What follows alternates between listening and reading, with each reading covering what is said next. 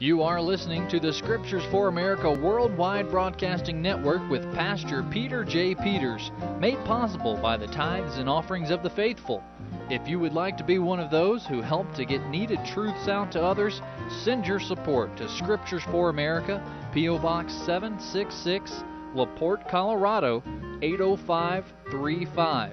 That's Scriptures for America, P.O. Box 766, LaPorte, Colorado 80535 and pay a visit to our website www.scripturesforamerica.org. That's scripturesforamerica.org. At our website, we broadcast 24 hours a day, 7 days a week. And remember, too, the live evening broadcast at our website with Pastor Peter Peters, Monday through Friday, 9 p.m. to 10 p.m. Eastern, 8 to 9 Central, 7 to 8 Mountain, and 6 to 7 Pacific. That program is live, controversial with guests and call ins, and taboo subjects not acceptable in mainstream media. That's at www.scripturesforamerica.org. Should you go there on Sunday mornings, 10:30 a.m. Mountain Time, you'll see and hear Pastor Peter's Sunday morning church service. And when you write, why not ask for a free copy of the Scriptures for America Dragon Slayer newsletter magazine? Again, our address is Scriptures for America, P.O. Box 766, LaPorte, Colorado 80535. And now, back to our program.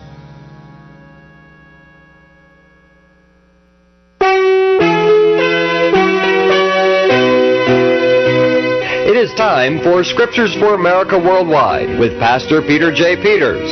All around the world, from the United States to Canada, Europe, Russia, South Africa, Australia, the Holy Spirit is stirring the hearts of godly Christians. The Bible says, quote, as an eagle stirreth up his nest, end quote. We invite you to stay tuned as Pastor Peter J. Peters shines the mighty light of the gospel on the source of our problems and the only solution. Please keep Scriptures for America in your prayers. And now, Pastor Peters.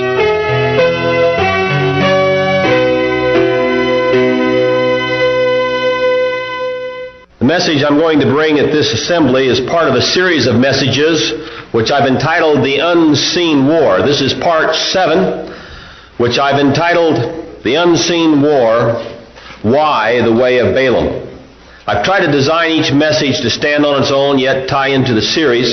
Since you people here have not heard the series, I'll bring you up to date by a brief review. Part one was the unseen war. War, war, you'd better believe it. And I tried to show in that message the physical evidence of warfare versus this physical evidence of warfare that's being waged in a spiritual plane. And we discussed in that message how we intuitively know that they are out there and they seem to be against us. In part two of The Unseen War, I subtitled it The Concept. And there I looked into 2 Corinthians 4:18 which it says that there is the seen and the unseen and how we can look upon the unseen and addressed that to a certain ex- extent and discussed how the concept of enemies are hard for us to accept. And I discussed why. Because it's due to a conditioning process that's been going on with us by those very people.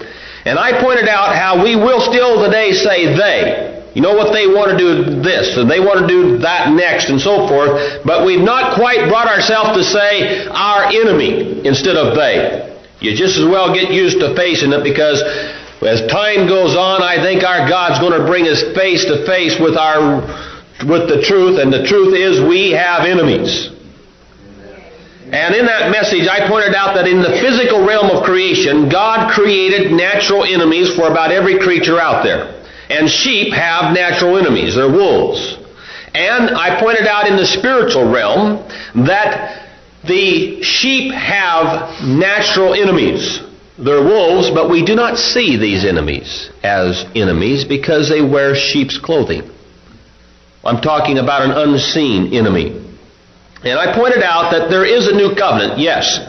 But I'll have you know this, and you just as well get this truth down. It might not be popular at the present time, and it might not be politically correct, but I'll assure you the day will come when it'll be standard public knowledge, and that is the new covenant was made with the same people in this book as was the old. And the new covenant did not eliminate the same old enemies that they've had for a long time. Now, in part three, of the unseen war. I entitled it Cursed Enemies and Their Nature, pointing out that because the churches refuse to accept the obvious teaching of the Bible, that we have enemies, the churches known as the Judeo Christian churches, at the very best, present only half a Savior. You see, if you have no sin, you have no need of a Savior, do you? Well, if you have no enemy, you have no need of a Savior either. The Bible says that Christ came to save us from our enemies as well as from our sins. And in part three, we talked about the cursed people and their nature. And I try to dispel this idea that's being taught in the Judeo Christian church world that the only enemies you have are some kind of third heaven beings. And then in part four of The Unseen War, I titled it The Concept of Cursed Enemies. And I addressed briefly this false doctrine known as the seed line. And if you don't like it, don't let the door hit you in the chin when you go out. I'm getting rather disgusted with this seed line thing. If you want to believe it, go ahead, but I'm the one having to take the brunt of the stuff anymore. What they're writing about Pastor Peters across the country believing in that nonsense. And that's what it is. Now, we're going to have in this series of messages that are being sent out, one of the messages, hopefully, by Charles Wiseman on this doctrine. But though I might not be teaching about the seed line, I am now trying to bring to your mind the concept of cursed enemies. Cursed enemies. And they have natural defense, as I pointed out in part four. They have a certain nature, as I pointed out in part three, that's entirely different. In fact, I read from their own writings in that part, showing what their nature is versus ours.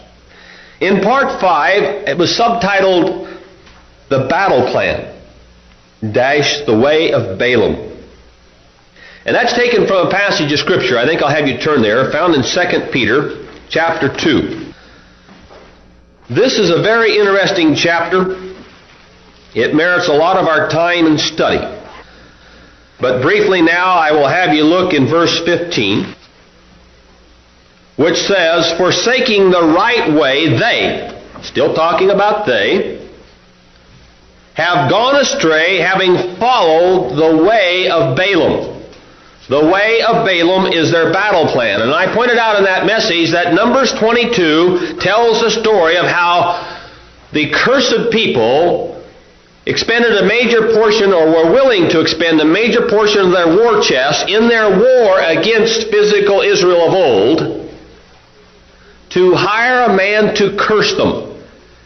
And that's another concept that we've not been familiar with and haven't studied. And I guarantee you, they didn't teach me this in Bible college, but it's there in the Bible.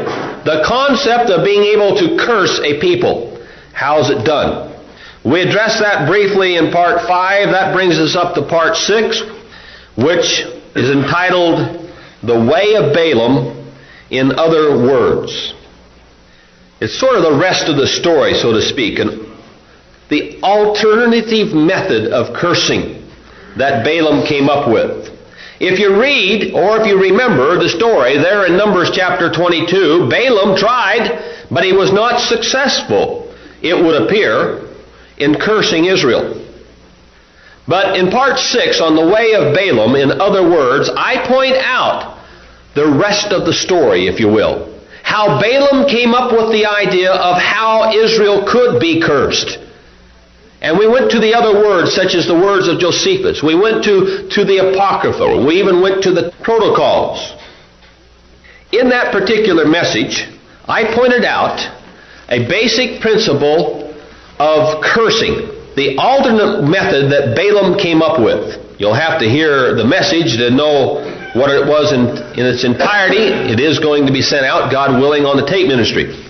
But if you turn over to Ephesians chapter 5, I will show you briefly the general concept of how our adversaries have followed the way of Balaam in being able to tap in to the power the power of our God. It says in verse 6, Let no one deceive you with empty words, for because of these things the wrath of God comes upon the sons of disobedience.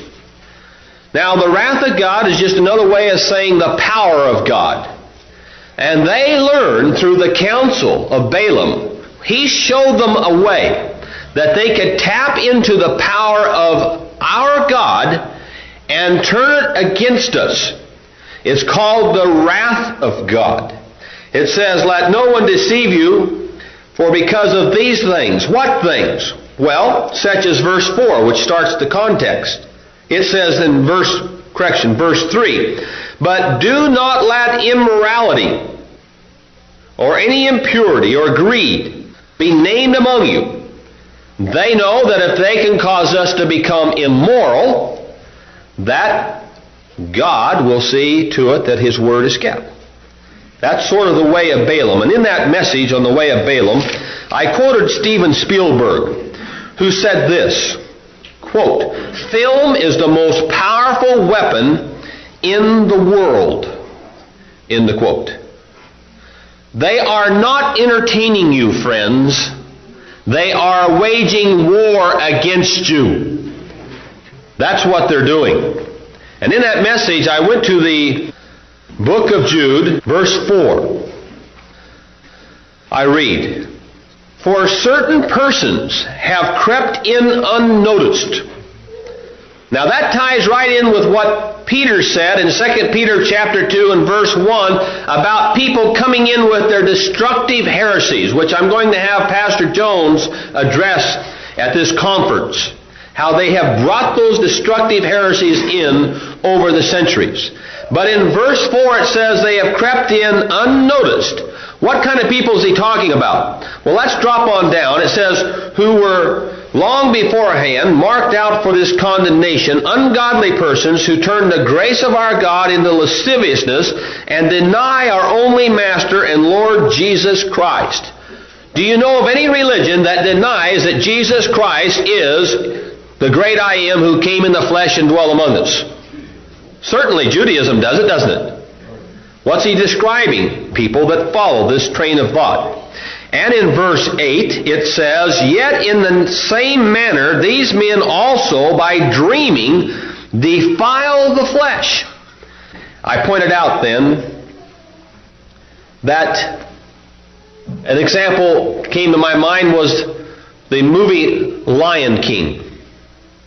And in that movie, I had heard that there was a subliminal that people were seeing. And my son and daughter in law got the movie, and they found it and they showed it to me. And what it is is a scene where the lion drops down on a cliff, so to speak, and the dust kind of comes up around his head as he, as he lays down. And as the dust swirls up above his head, it forms the words S E X. Now, I saw that with my own eyes. And my daughter was telling me how she had told some of her in laws about it. And the response that she received, they wouldn't believe her. Now, this is one of the natural defenses that God has given the cursed enemy so that they can remain unseen, is our inability to believe that people would do this. Well, I'm telling you, I didn't make it up. You can see it yourself if you buy or rent the video. That's just one tiny example of what they're doing with the way of Balaam. And in that message, I pointed out how Balaam said, This is what you do. You get them enticed into their immorality. And they understand that if they can enslave us spiritually, if we have no control over our spirit, they break down the walls, and this is war that's going on. And so if you finally take an Israelite sheep and grab them by the nape of their neck and shove their head and say, Now look at that, you dumb sheep, that says S-E-X, and that's right there. And you force them to see it after they say, I don't believe it. Then you know what they say? Well, why would anyone want to do that? It's called war. They're waging war against your culture, against your God, against our morality, against what is right and decent and virtuous in this land. It's war. Well, why a war? And why do they do this way of Balaam? So I thought well, I would just address that some. It has to do with identity. Now, that word gets battered around a bit these days, but it does have to do with the identity, their identity, and our identity. For if there is a they, there is also an us. And that's what identity is about. In 2 Peter 3:18 it says to grow in the grace and knowledge of the Lord Jesus Christ. If you find yourself in one of these average Judeo-Christian churches who, as I point out in my message on the four stages of spiritual truth, are mostly composed of stage two people, they look upon people who want to grow in the grace and knowledge of the Lord Jesus Christ as people who are falling away rather than growing. Well, I got news for you. You just as well stand up and tell it like it is. Because sometime or another, God's going to bring it out anyway. And there's no sense holding it back. Somebody's got to do it. Somebody's got to tell. I had a man call me up this last week telling me that he had been to a Civil Air Patrol meeting and there was a chaplain holding a, a, session there speaking and finally one of the fellows in the story told me got up and said I can't take this anymore. And he rebuked the man for bringing up Jesus so much. And he talked about this elderly pastor who no doubt was a sweet gentleman. They're all so sweet. We don't need sweethearts anymore. We need some men of God and as far as I'm concerned, if you don't like the name of Jesus, that's your problem, not mine. Don't let the door hit you in your fat head when you go. And it's about time to stand up instead of apologizing and say, if this song offended you, I'm sorry. That's just the way it is. We're not going to take this thing back by being sweet. You're going to take it back by being tough and standing like Christian soldiers on what's right. And if Jesus Christ is not the rock of ages, is not the cornerstone of the church, if He is one that we're ashamed to say His name, then we just as well hang it up and go home. People are backing down as our enemies come at us and war at us. You just as well stand up and in the growth process of growing in grace and knowledge, you see, our people are destroyed for a lack of knowledge. And I'm glad to have the opportunity. I believe one scripture to be true. He surely does choose the weak and foolish of this world. And I'm thankful to have the opportunity to stand up and step into the gap and tell the world knowledge that they need to hear because they're being destroyed for lack of it. And you can call me whatever you want. It doesn't make any difference. They crucified my Lord. Call me a white supremacist, call me an extremist, call me a radical, call me whatever you want, but the truth is going to get out. If I have anything to say about it.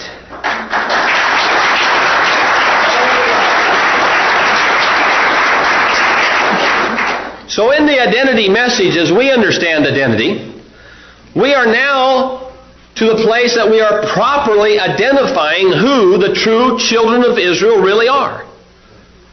I think it's the Lord has a sense of humor when you consider what the churches are teaching. They're teaching the taking the cursed people who spit when they hear the name of Jesus Christ. Their Talmud, which is their religious book, hates his guts. They stand against anything that's decent and moral and righteous and Christian, and the churches are holding them up and saying, Behold, God's chosen people. You know, God has put them in a position that they either are going to humble themselves and there's going to be a lot of crow to eat. I appreciated the message that Charles gave today because in that message he said something to the effect of error and mistake is part of life. Remember that? And it forms the growing process. We've all had errors and mistakes, and none of us are perfect yet. We follow one who is. But we's getting smarter.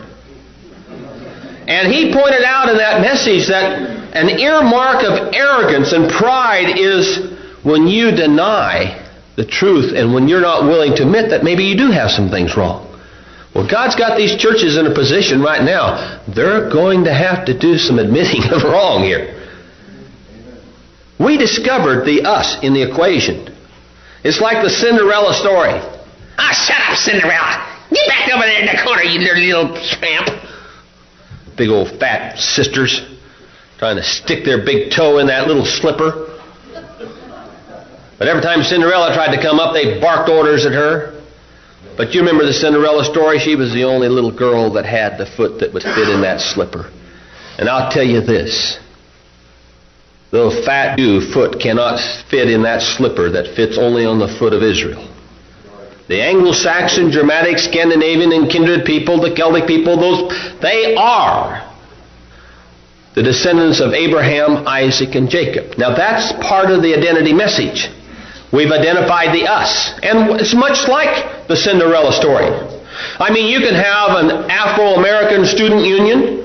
Uh, I drive by a place up there where I'm at that talks, it has right on the outside Latino, uh, Latin American Club. Or you can have, uh, I saw the other night on television in the motel the uh, um, Hispanic caucus that Clinton was addressing. And here a while back, there were some white students at a university that wanted to have a white student union type club. Get back in the corner, Cinderella, you stinking, you stinking whitey. You've done nothing but destroy the earth. Evil wherever you go. Isn't that the Cinderella story? Well, what's being done there, as I will show as I go on in this message, not this one, but the series, about curses, is that's part of the curse. It says in Proverbs 26 3 that the curse causeless shall not come. And I looked up the meaning of that word curse, and it means to vilify, to cause to make light. The other word for curse that's used in the scriptures is declare to be evil, to make detestable. And what they're doing, what they are doing, they're good at it, is throwing a curse on us, causing us to be vilified, to be declared to be evil. But we've discovered in this story the us. Now, this has been discovered before. It's been understood. It was understood in the centuries before us. The book called Judah's Scepter and Joseph's Birthright, which helped me immensely to finally get this picture put together, written in 1901, I think, it identified the us, but it had not figured out the they. It still had them as Judah, you see. Now, as this thing has evolved, I guess that would be a fair word, it means change. As we've grown in understanding, we have now come to the place that we have not only identified the us. Now, in the days gone by, when they had identified the us and understood that portion of identity and didn't identify the they, they did not come back upon them and vilify them and attack them. But today, they're starting to attack us, people like you and I, with eyes to see and ears to hear, because now not only are we figuring out who the us is, but we're figuring out who they are. That is part of the growth process. Now, back there in 2 Peter chapter 2, talking about these people, we're going to look at this off and on through the series and in this message. It says, starting in verse 1 of that chapter, But false prophets also arose among the people, just as there will also be false teachers among you, who will secretly introduce destructive heresies. One of their methods of warfare is to secretly introduce destructive heresies. And I'm going to tell you, and I'm going to put it out because I need to make a little bit of a correction. Keep your finger there. Go back to the book of Jude, verse 4. It talks about people who've crept in unnoticed. That would parallel with 2 Peter 2 1. It says in verse 8, that they have defiled by their dreamings. And it says in verse 11, quote, Woe to them, for they have gone the way of Cain, and for pay they have rushed headlong into the error of Balaam, and perished in the rebellion of Korah. I want you to notice there that they go the way of Cain. Now, I did a two-part message quite some time back on that subject called the way of Cain. Anybody heard those messages?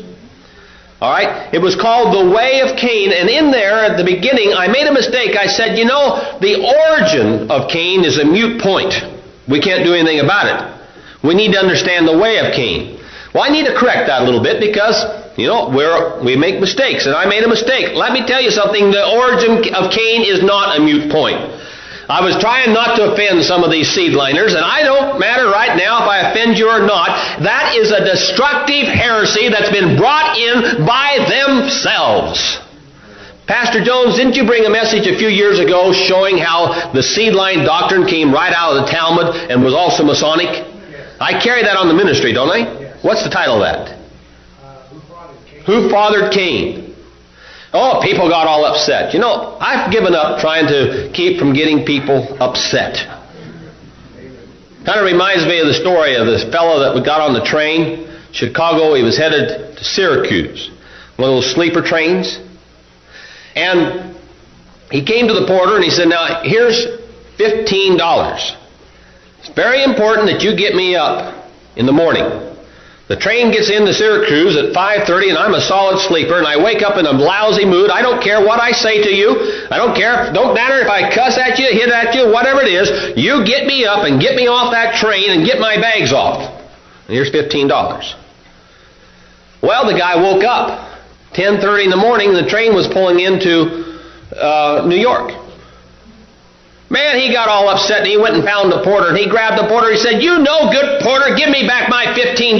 You could cost me my job. I told you to get me off in Syracuse at 5.30 and now here I am. Give me that $15. And the porter stood there next to his friend and he reached in, gave him the $15. The guy said, huh, pushed him back and said, mumbling off, he said, No good porter and walked away. And the porter's friend says, Man, he was really mad. You really made him mad. He said, Well, if you think he was mad, you ought to have seen how mad the guy was that I put off in Syracuse. so it seems like I make everybody mad these days.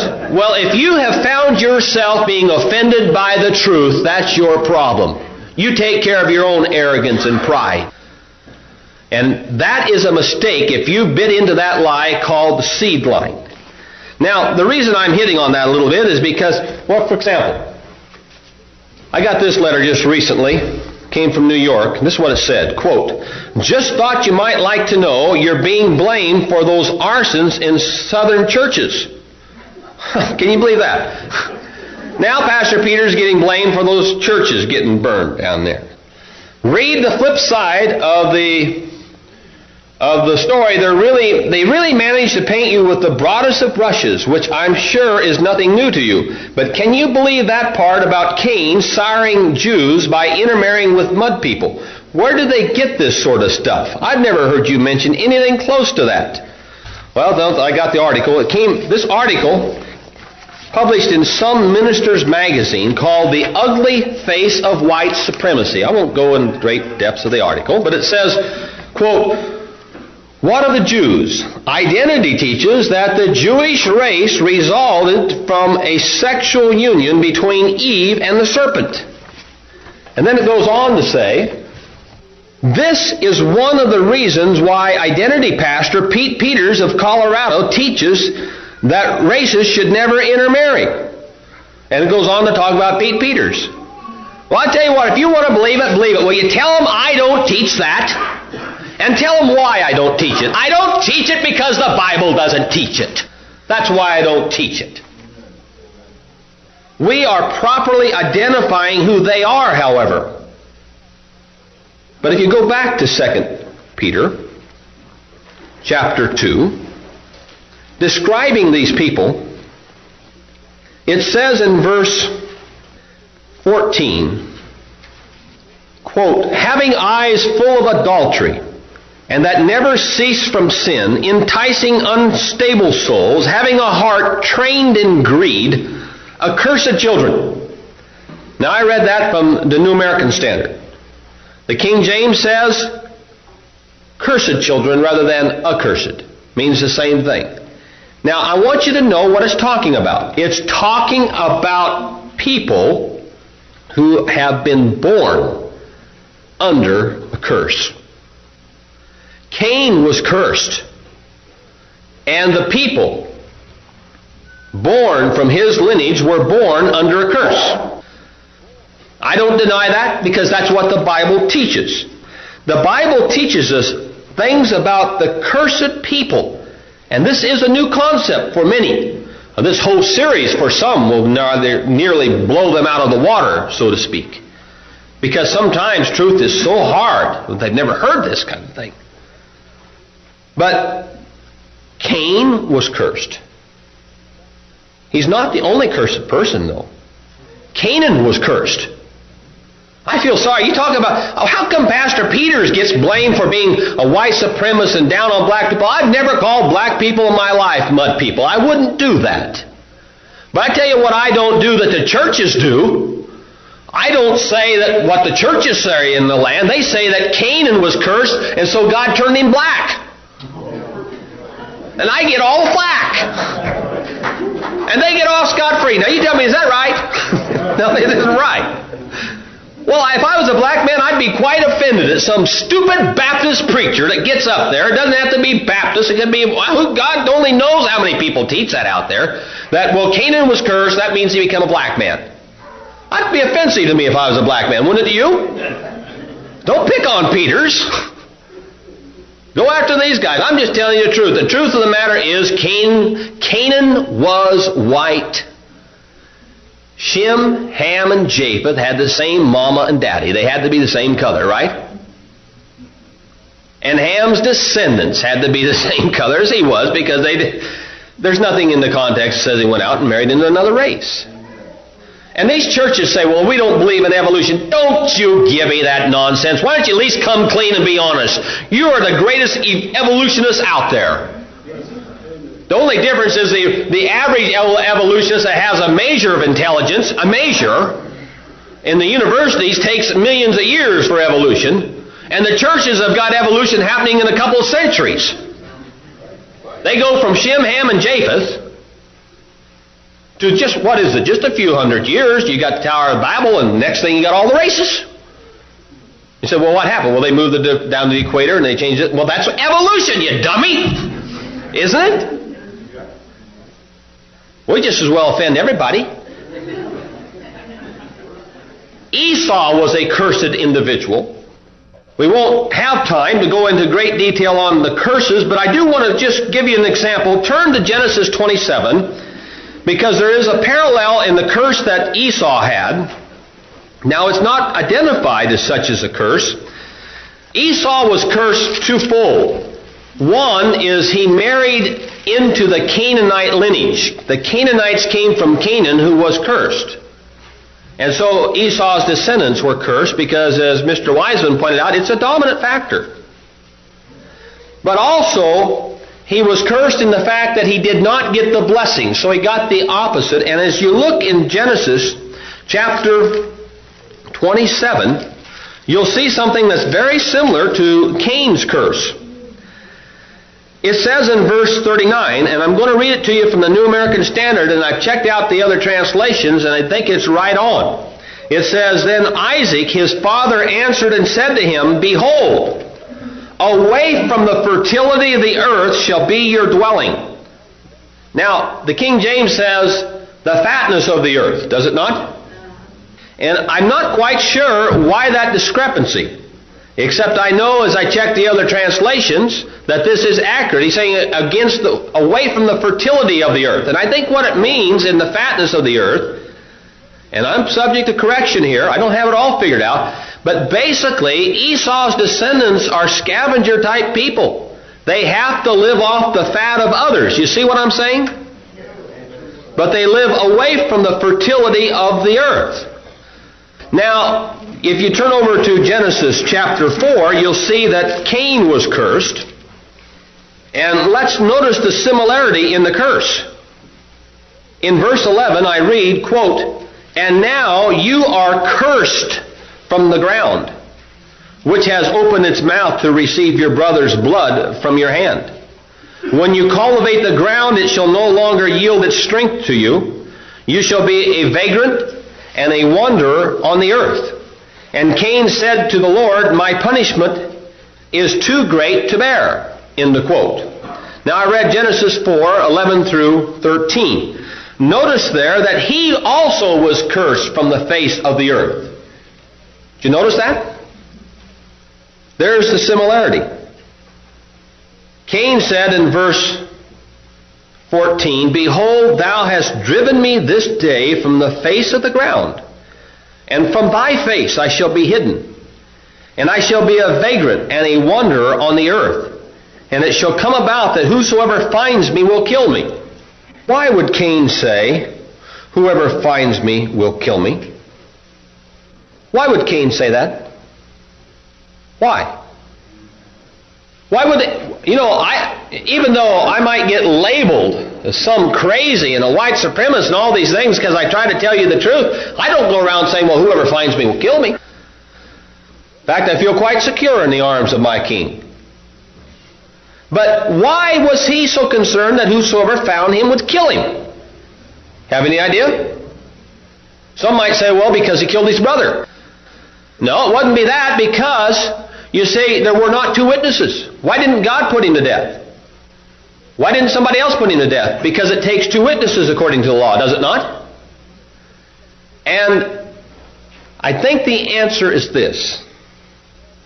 He knew what his lot in life would be and what kind of person he would have to be to survive. Point is this very simple, basic economic truth. All wealth comes from the soil. And he had now been cursed away from the soil, away from the face of the earth. You see the point? So, how is he going to eat? And once people figure that out, they'll have the idea hey, we need to do to you like we do all parasites. See the point? How is he going to eat? And the answer to that is the answer to the question, why the way of Balaam? Turn to Hosea chapter 4. Read with me, please. Verse 8. They feed on the sins of my people and direct their desires toward their iniquity. Make sense? Are we getting smarter? They have to follow the way of Balaam. If they are to survive, they have got to have a sin. That's why they're putting sex in the little cartoons. That's why they are directing us towards our iniquity, our lower nature. See the point? As I pointed out earlier in this series, we have made a mistake. It's been taught in the churches, and we've kind of believed it, and that is this. We have believed that men would be happier and more prosperous if they would follow the law of God and have the laws of God implemented in their lives and their society. That is a lie. Because, see, we've assumed that all men are the same. That is a lie when it comes to the cursed men. The cursed men will not prosper. They will not be happy. They cannot survive if we follow the laws of God. They feed on our sin. To prove that, turn over to Deuteronomy chapter 28 to drive this point home a little bit. There we see the blessings and the curses. It's also in Leviticus, I think, chapter 26. But one thing we've not noticed, we have noticed in identity as we've come to the truth. You see, another truth we've had to come to is that the churches have been lying to us when they told us that God's law was done away with. We had to go through that theology, didn't we, and get it all figured out. And then when we figured that out, we figured out, hey, we would prosper. And we would be more happy and healthier if we followed God's law. But we forget the flip side of it. And the flip side of that is seen in Deuteronomy chapter 28 verse 43 which says, quote, The alien who is among you shall rise above you higher and higher. But you shall go down lower and lower. He shall lend to you, but you shall not lend to him. Notice the flip side is the alien. Those who come in amongst us, they appear like us on the surface, they prosper when we sin. Make sense? Driving it on home more over there in Proverbs chapter 5. It says this, starting with verse 1 My son, give attention to my wisdom, incline your ear to my understanding, that you may observe discretion, and your lips may reserve knowledge. For the lips of an adulteress drip honey, and smoother than oil is her speech. But in the end she is bitter as wormwood, sharp as a two edged sword. Drop on over in this chapter to verse 10. He says in verse 9, Lest you give your vigors to others and your years to the cruel one, lest strangers be filled with your strength and your hard earned goods go to the house of an alien. What happens when they entice our children into immorality? The hard earned goods of theirs and their forefathers go into the hands of the aliens, and somebody's getting rich off of this sin scam. And see, that's the only way they can survive. They cannot survive in normal ways. They've got to come up with the sin scams. They've got to come up with the Ponzi games of insurance. They become the merchants, the intermediates. They become the, the, the, the, the scavengers of society. They run the junkyards and the rag merchants. This is the way it is for those people who are cursed. Make sense? Why the way of Balaam? Because of identity. They are wolves. And how do wolves eat? What do they eat? They eat sheep. The protocols, protocol number 11 says, quote, The Goyim are a flock of sheep. We are their wolves. You know what happens when the wolves get a hold of the flock. In the quote. That's in the protocols. I had a man come to my church the other day, an elderly man, came with his two sons who discovered identity, hearing me on the radio. They brought their dad, and he was kind of a retired farmer out in Nebraska, and he was telling me the story about years ago he'd went to Omaha with some cattle. I think it was Omaha, and there was a packing plant there, and that evening he was eating in the restaurant, and the owner of the packing plant came in who was Jewish, and this is what he said. He said, You know, you farmers are just like sheep. You come in here and we fleece you, and you grow out and you grow more wool. In the quote. he understood. They go to the left. They have to. Here is a quote that comes by Dr. James Perkins in the Jewish Review of London, March 1934, page 29 and 30, number 8. This is what he said, quote, It is not an accident which has made Jews form so large a proportion of socialist leaders, end the quote. They cannot go to the economic social system on the right because they would starve there. They cannot prosper there. They have always got to go to the left. They are the leftists. Someone has compared socialism and communism, that type of thing, to, for example, the the socialist is if you have two cows, the socialist system, you keep one cow and you give one to your neighbor. In a communist system, if you have two cows, you give both your cows to the government and they give you some milk. In a fascist system, you keep the cows, you milk them, give the milk to the government, and they sell you the milk. In a New Deal system like Roosevelt, you shoot one of the cows, milk the other one, and pour the milk down the drain. But in a capitalist system, you take one of the cows and sell her, and you buy a bull. You become productive. But they cannot produce that way.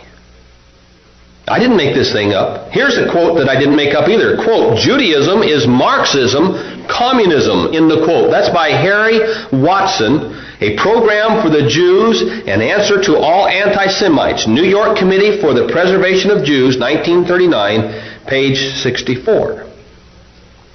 They go to the left, we go to the right. Goats go to the left, sheep go to the right. They are predators. And this is all part of God's plan. Why does He have them follow the way of Balaam? Because He wants us to learn war.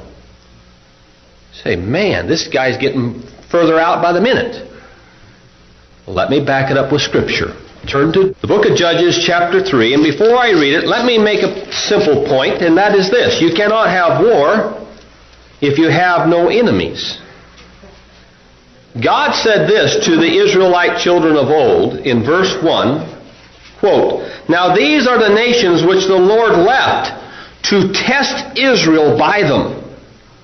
That is, all who had not experienced any of the wars of Canaan. Only in order that the generations of the sons of Israel might be taught war, those who had not experienced it formerly. End of quote. The nations that he left there were the people who were a people of the curse. Cursed people serve a very important role in God's sovereign plan, where he wants us to learn war. Am I talking about physical warfare? No, I'm telling you about the unseen war. I've already told you that if we try to take this on in the physical plane right now, we lose. And that's why Paul said in 2 Corinthians chapter 10 some words about war. This is what he said. 2 Corinthians chapter 10 verse 3. For though we walk in the flesh, we do not war according to the flesh. For the weapons of our warfare are not of the flesh, but divinely powerful for the destruction of fortresses. I'll stop there a moment and say this. If I were them, I would not want us to discover those weapons. I would want to prod us into going into the physical plane. Make sense? And in verse 5 it says, We are destroying speculation and every lofty thing raised up against the knowledge of God, and we are taking every thought captive to the obedience of Christ. And we are ready to punish all disobedience whenever your obedience is complete. But if we're not going to obediently believe the truth, the truth that we have enemies, that they are waging a war against us, using the battle plan called the way of Balaam, and acknowledging the obvious is that is that's their only way for survival, then we will not be victorious. We've got to start with this knowledge. We are destroyed for lack of knowledge. As I go on in the series, I will give you knowledge on how they curses. Because this is what cursed people do they curse God's people. So stay tuned. Thank you.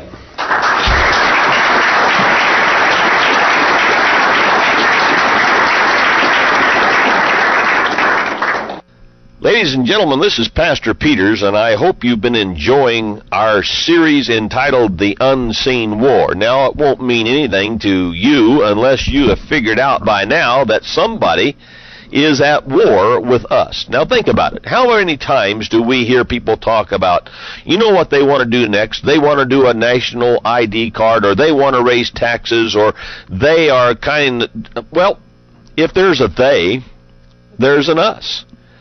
And us are beginning to figure out that they are against us. This is a spiritual war that is going on and has been prophesied in Scripture. But God's people are blinded to it.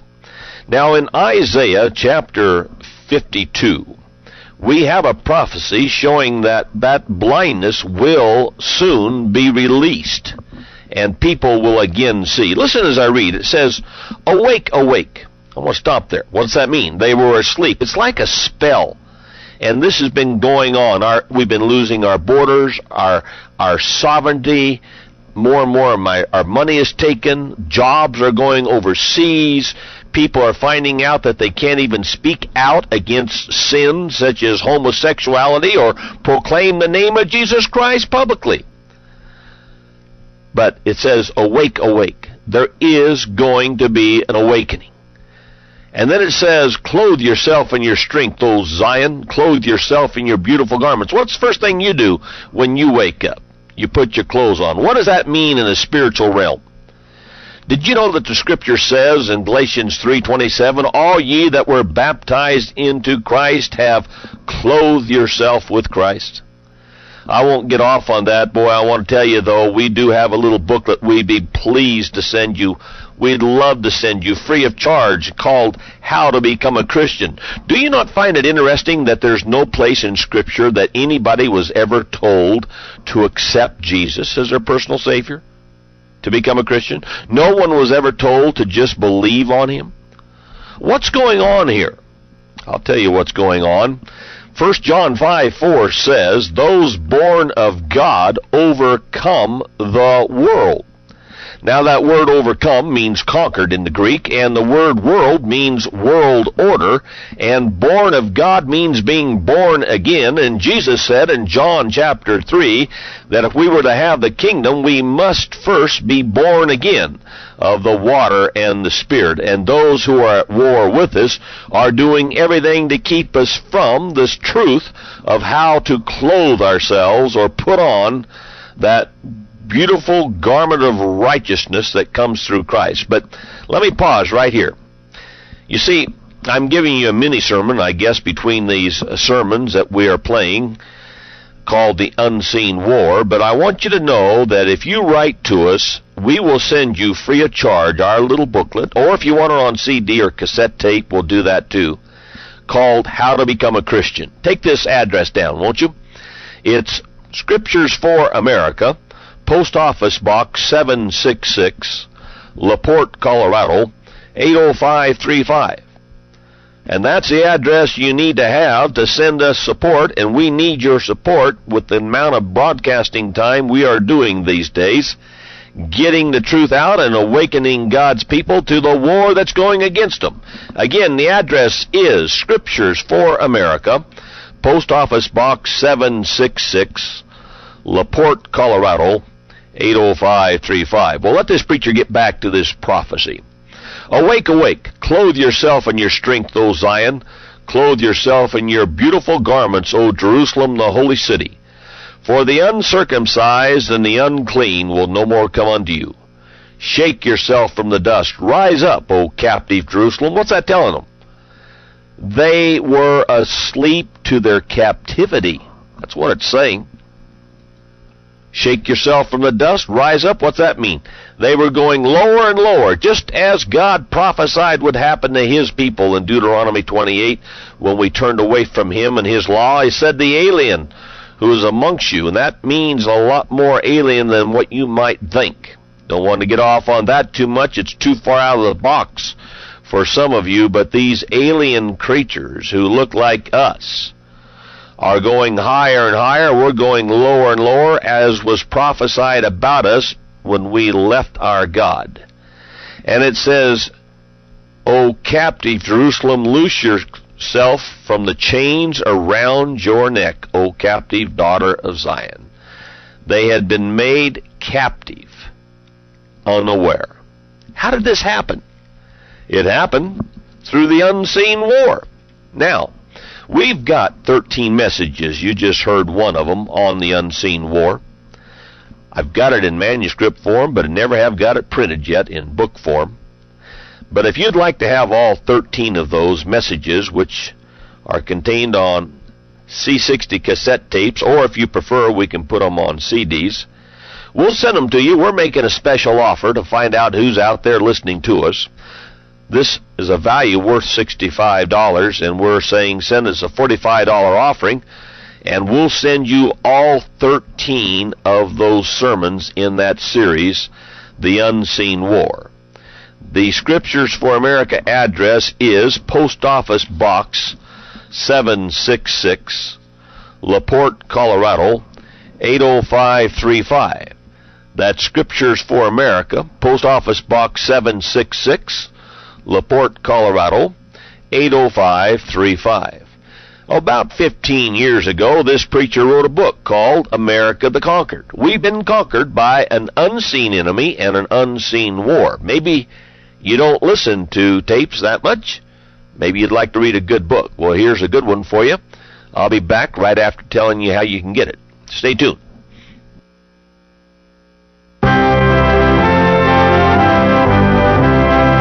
Ancient prophet Isaiah foretold a time and a people who would awaken one fearful morning and discover they'd been conquered while their watchmen slept. Could he have been speaking of today? Of America? As we sink ever deeper into economic chaos and moral decay, some people are realizing that Christian liberty is almost gone, subtly replaced by the heavy chains of slavery. Within a single generation, our public life, schools, music, literature, and entertainment have been infiltrated and seized by anti-Christian groups, and our youth, our most precious treasure, have been ensnared by drugs, immorality, self-mutilation, violence, despair, and suicide. Awake, America, awake! Right for America the Conquered by Pastor Peter J. Peters. The book is available for a $10 offering. The cassette album for a $25 offering. That's America the Conquered. Write to Scriptures for America, Box 766, LaPorte, Colorado 80535.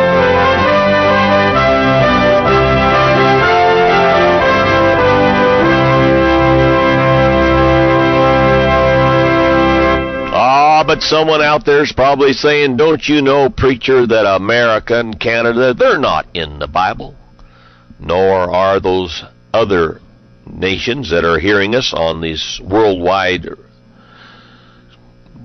shortwave broadcasts. You know, the greatest mass migration ever happened in the history of mankind was the migration of the Anglo Saxon, Germanic, Scandinavian, Celtic, and kindred people coming from Europe and the British Isles and so forth to America. And so we are told those people are not in Bible prophecy. Think again. Oh, there's so much I'd like to tell you, but right now I just want to tell you this. There's a war going on. You've heard one of the messages in our series of messages called The Unseen War. If you want to keep hearing us on the radio, we need your support. You send it to us at Scriptures for America, Post Office Box 766, LaPorte, Colorado 80535, and we'll keep sending out truths that no one else seems to be getting out there.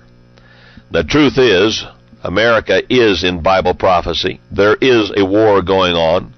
We have had conquest right before our eyes. We are going to wake up, and there is something we can do. But I can't tell you any more than that, probably for right now. I've probably told you enough, but I want to keep telling you our address so you'll order the material we offer, and so some of you will support us because we need it. We're going full speed ahead. We're pulling out all the stops, and we are broadcasting 24 hours a day, 7 days a week on our satellite, and a lot of hours on Worldwide Christian Radio. The address again is P.O. Box 766, LaPorte, Colorado 80535. Take that down. It's Scriptures for America, Post Office Box 766, LaPorte, Colorado 80535. And now, before the next message in the Unseen War series, I think we'll tell you about our introductory packet. A lot of people are trying to get to know us, and we're trying to get to know them because we are coming new in new spots on Worldwide Christian Radio Broadcasting. So here's how you can get our introductory packet.